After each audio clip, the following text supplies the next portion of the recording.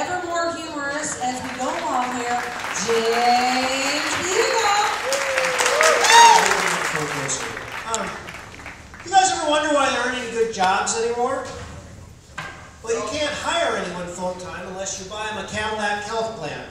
And a Cadillac health plan doesn't mean you get to drive to your doctor in a Cadillac. No, what it means is that you have to be bought everything that you need in the way of sexual products. Is because, as I was saying, this is what the Democrats are all about. So you have to have all the Viagra that you need and all the birth control that you need. And this, of course, is typical government, you know, because we all know that if they didn't buy so much Viagra with all the health care money, they wouldn't have to buy so much birth control. Um, this, of course, this is a classic model of government. We pay people to grow tobacco. We spend hundreds of million dollars of advertising how bad tobacco is. This is the way government works. Um, some of the more politically astute among you know, however, that the Supreme Court did come out with a Hobby Lobby decision.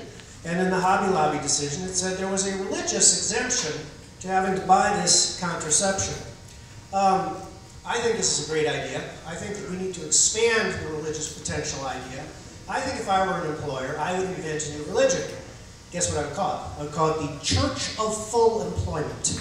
Okay? The Church of Full Employment is simple, all right? You hire employees, you pay them, and they buy their own health care. Um, can you imagine that? I mean, that would be shocking. That would be like the freedom to uh, take your school taxes and pay your tuition, to whatever school you wanted. Can you imagine that? The progressives' heads would explode. But getting back to that Supreme Court decision, um, the Hobby Lobby people didn't have to provide birth control for their employees, and my opponent Earl Blumenauer took this very seriously. He was so serious that he immediately went on Twitter, which, as you know, is the forum for all serious politicians, uh, and he declared that the decision was a blow against women's reproductive freedom. Now, let me get this straight. If we don't buy women birth control, we are interfering with their right to reproduce. Does anybody see anything wrong with this? I thought the purpose of the birth control was that we're supposed to be sort of able to have fun without reproducing. Uh, and I don't think my opponent gets this. I don't know why. But I think really, of course, what's going on here, we all know.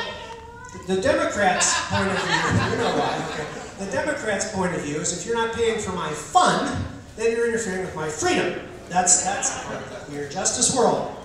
Um, very important part of queer justice world.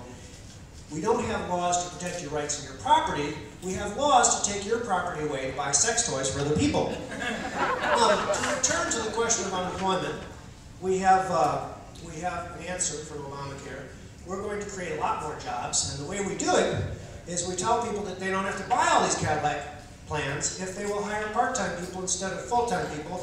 Presto changeo, we've got twice as many jobs. Why else is there such high unemployment? Do any of you as children being told the, state, the tale of the troll under the bridge? You know, you want to go across the bridge and this troll comes across demands that, that. Well, that's the model of modern government. You find something that people want to do and like to do, and you stand under the troll and you say, you know, you don't have a license for that. You up. Um, so, for example, imagine that you wanted to start a business braiding people's hair for them, okay? You want to open up, say, Leroy's hair braiding salon, right? No, now we've got the job police, okay? We have a report of wild and uncontrolled hair braiding going on here. That's completely illegal. You have to spend $17,000 going to 17,000 hours of school a certified hair braider.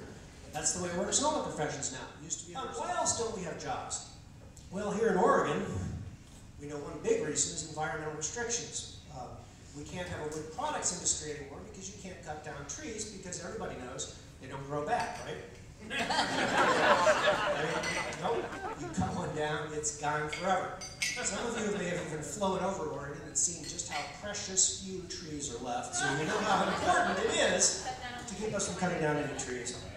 Now, there is light at the end of the tunnel. My opponent has the answer for all this. It's the answer to all your problems. We don't need jobs. We don't need full employment. This is simple. We're just going to legalize marijuana, and you can get high all the time and not have to worry about it. this reminds me of the old French proverb, even a blind pig finds an acorn now and again. Um, so I want to say that I think our is right. We shouldn't be filling up our prisons with all of these nonviolent drug offenders. We should be filling them up with the Wall Street bankers instead. Uh,